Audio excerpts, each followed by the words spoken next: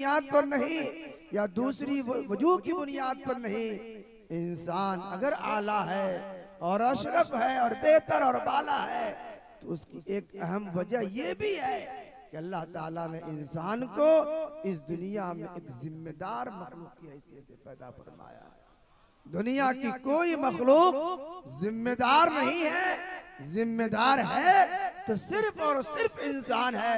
कुल्लुकुम राइन कुल्लुकुम राइन कुल्लुकुम मसऊलुन अन रइयदार है, और हर जिम्मेदार से उसके मातहतों के बारे में पूछा जाए।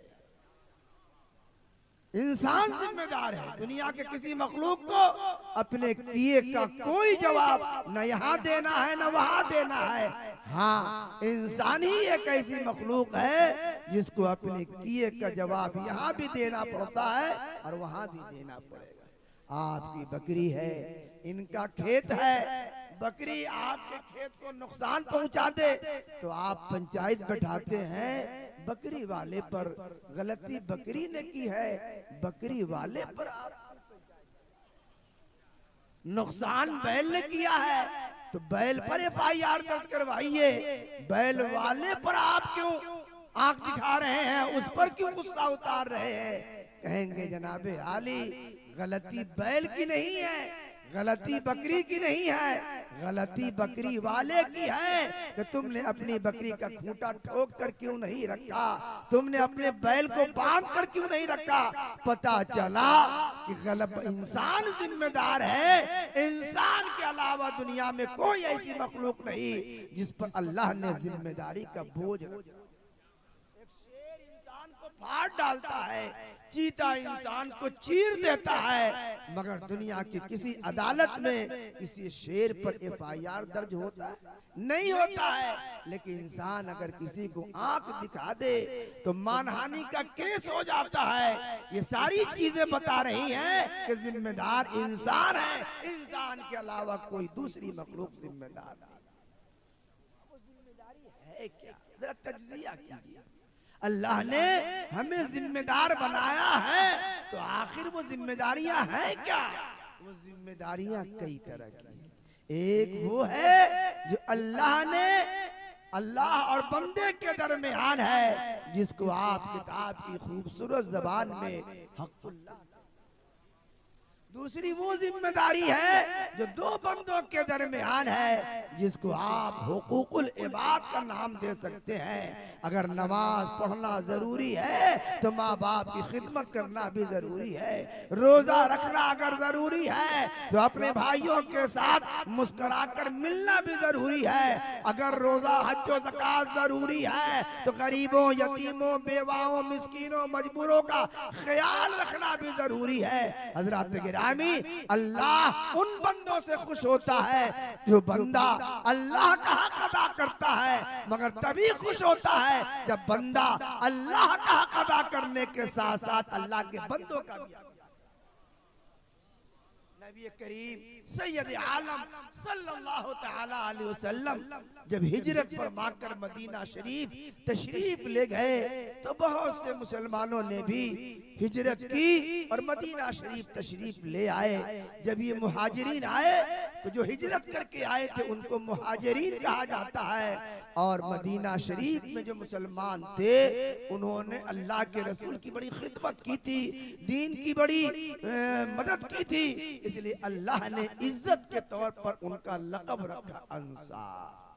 मदद करने वाले, अल्लाह के दीन की मदद करने वाले लोग, ये मुहाजिरीन, वो अंसार, जब हिजरत हुई हिजरत मदीना तो बहुत से मुहाजिरीन अपना घर बार छोड़ करके मदीना शरीफ जाने लगे। मक्का वालों ने रास्ता रोका कि नहीं जाने देंगे। मुहाजिरीन ने कहा, ऐसा न करो, चिराग जहाँ रहता है, परवाने वहीं रहते हैं। चिराग मक्के में था तो परवाना यहाँ था। अब चिराग मदीना जा चुका है तो परवानों को भी वहाँ जाने दो। घर लेना है, ले लो।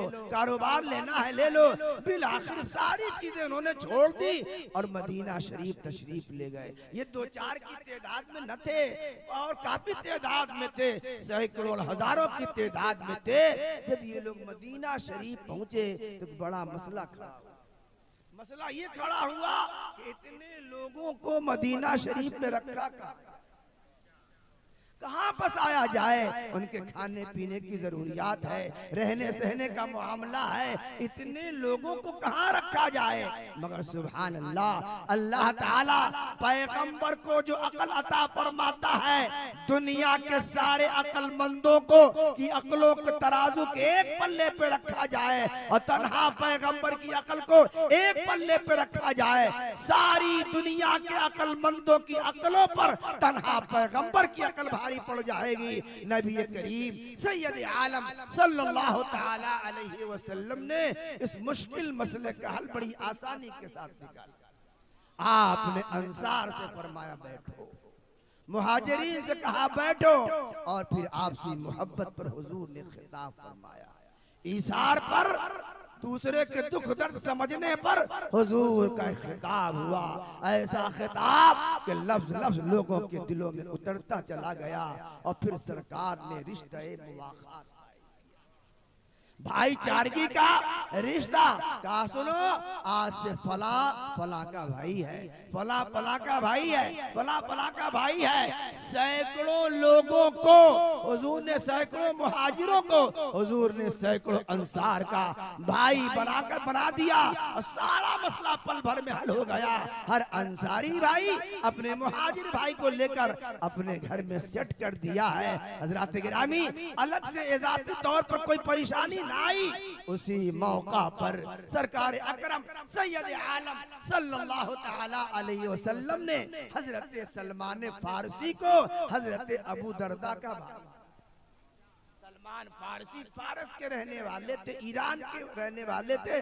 बड़ी लंबी उम्र अल्लाह ताला ने अता फरमाई ये मदीना शरीफ में किसी यहूदी के यहाँ गुलाम थे सरकार के आने की खबर मिली है। तो उन्होंने तौरेत वगैरह में आखिरी पैगंबर की निशानियाँ पढ़ रखी थी उन निशानियों पर सरकार को परखा और फिर दिल ने पढ़ लिया कलमा ला मुहम्मदुर रसूलुल्लाह सल्लल्लाहु अलैहि वसल्लम उस मौके पर सरकार ने हज़रत सलमान फारसी को अबू दरदा का भाई बनाया।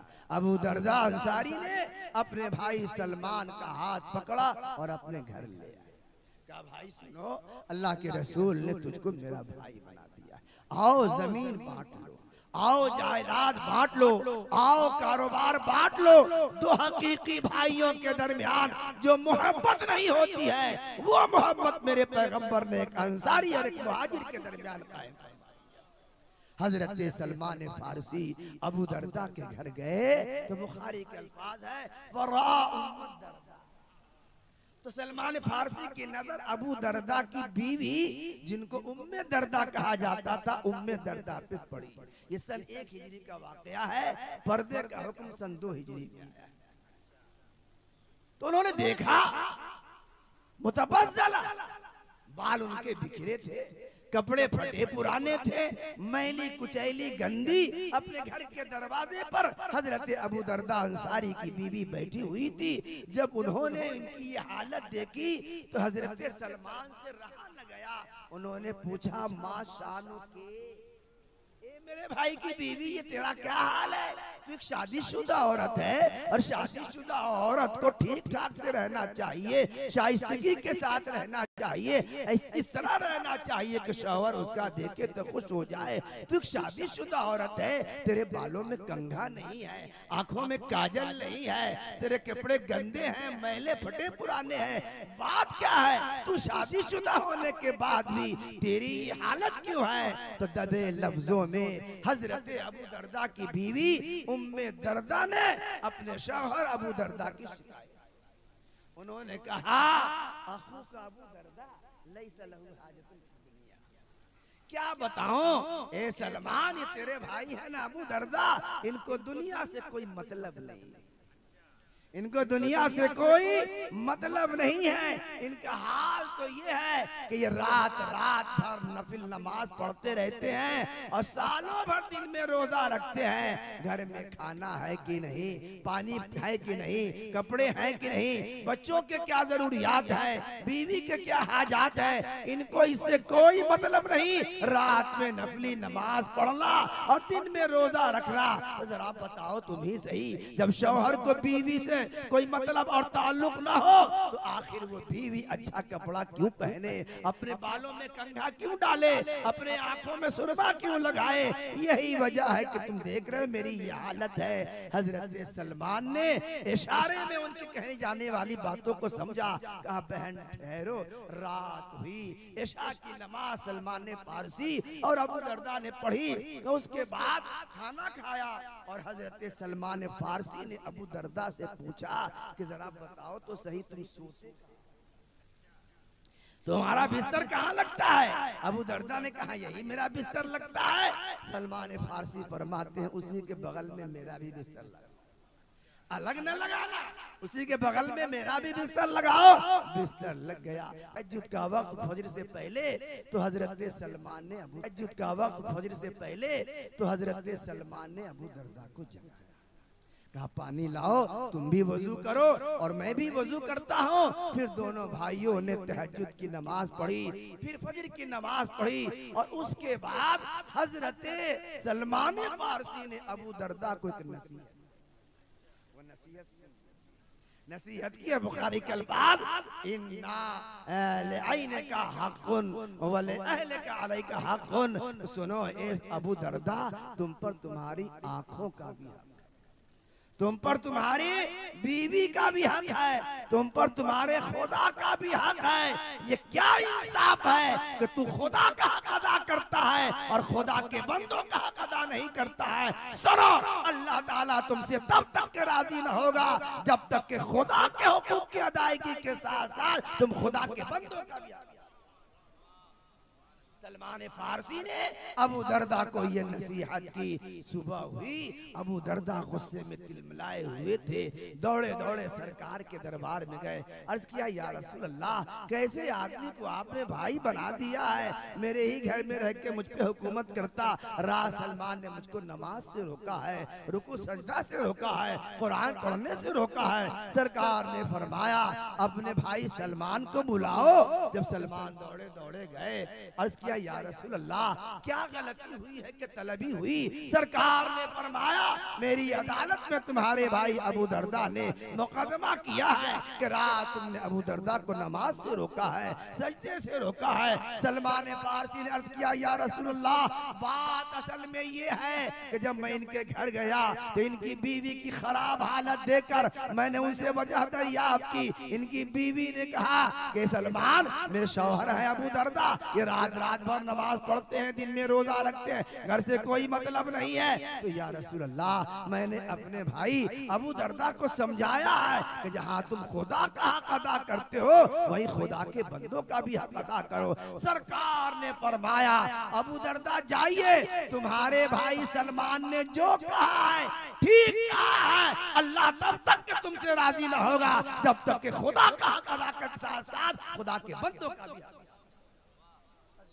दोस्तों और प्यारे भाइयों, आप इस तमहीदी गुफ्तु में अपनी ज़िंदगी का जायजा ले, अपने आप का जायजा ले।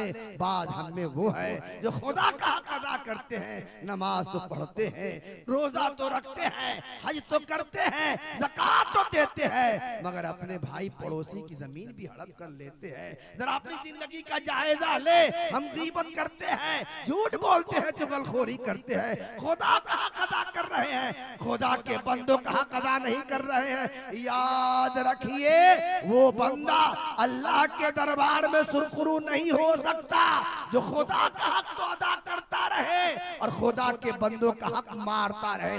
याद रखिए, जो लोग खुदा के बंदों का हक मारेंगे कयामत के दिन एक एक हक वसूल किया जाएगा। ये हदीस हमें आँख खोल रही है, बता रही है। लोगों, तुम पे लाजिम है कि तुम खुदा का भी हक अदा करो और खुदा के बंदों का भी हक अदा करो। तुम खुदा के लिए नमाज़ भी पढ़ो और अपने गरीबों का भी ख्याल रखो, अपने रिश्तेदारों रिश्तेदारों का भी ख्याल रखो।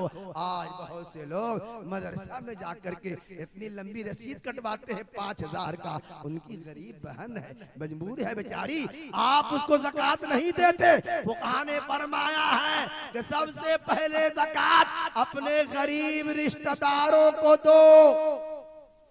सबसे पहले दो फ़ायदा सिला रहमी भी होगा और साथ साथ तुम्हारी जक़ात भी अदा हो जाएगी। अगर तुम, अगर वो गैरत की वजह से जक़ात के नाम पर तुम्हारा पैसा लेना नहीं चाहती तो वो कहा फरमाते हैं, नाम बदल दो। ये न कहो कि जक़ात की रकम है, ये कहो कि ईदी के तौर पर तुझे दे रहा हो। जक़ात भी अदा हो जाएगी, सिला रहमी भी हो जाएगी, अल्लाह का हक भी अदा हो जाएगा। बंदों का हक